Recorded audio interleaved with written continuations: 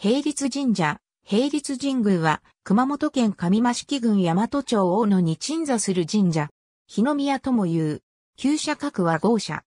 社殿によれば、神武天皇の孫である、県岩尾流命が、阿蘇に下校した際この地で休憩し、眺めがとても良い場所であると、平白を建て、天神地義を祀ったという。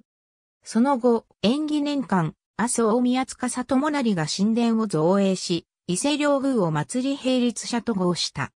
天陽元年には、阿蘇大宮司友高が、阿蘇十二神を合祀し、大野号の総鎮守とした。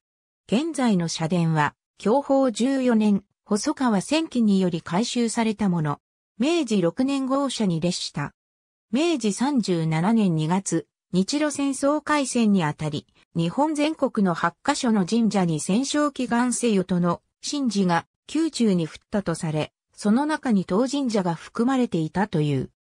当時無名だった当神社以外の7つの神社はいずれも各地の有名な一の宮であったことから、これに感激した氏子が、この記念として、この時記念樹として植えた日露の大役、記念の巻という木が境内にある。なお、天孫降臨の伝承を持つ高千穂にも近く、他にも様々な神話や伝承などが伝わっており、超古代史研究家や一部の宗教家から注目されている。